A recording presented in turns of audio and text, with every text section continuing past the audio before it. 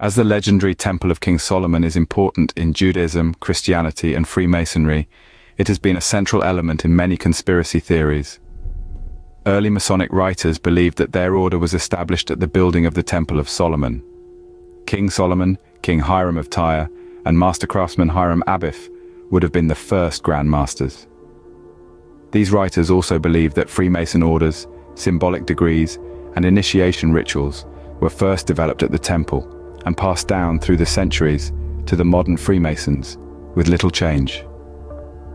Modern Masonic writers don't take it so literally, but insist that the symbolism has spiritual importance.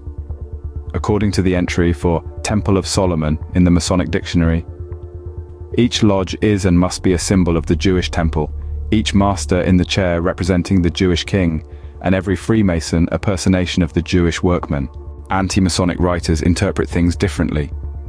Some say that Solomon, Hiram and Hiram Abiff were occultists, each possessing a single syllable of a sacred and powerful word of God that they used in a ritual when the temple was finished.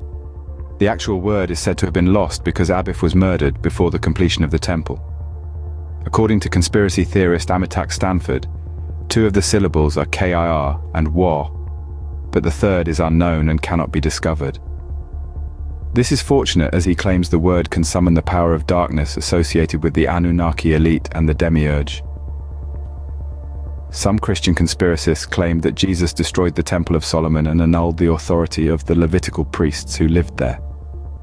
So the connection between Freemasonry and the Temple is evidence of occult chicanery and an anachronistic devotion to the first covenant of the Old Testament. Supposedly, the modern Masons seek to rebuild the Temple removing the Islamic dome of the rock currently standing in its place, to serve as a seat for the Antichrist. To accomplish this, the Freemasons and Illuminati are supposedly manipulating events in the Middle East to lead to a catastrophic war, clearing the ground for a new construction project and a satanic, illuminated Christ figure. Meanwhile, author Philip Gardner has argued that Solomon's temple never actually existed, but was a metaphor and religious symbol instead. He asserts that the technology to create stone buildings of such magnificence did not exist at the time.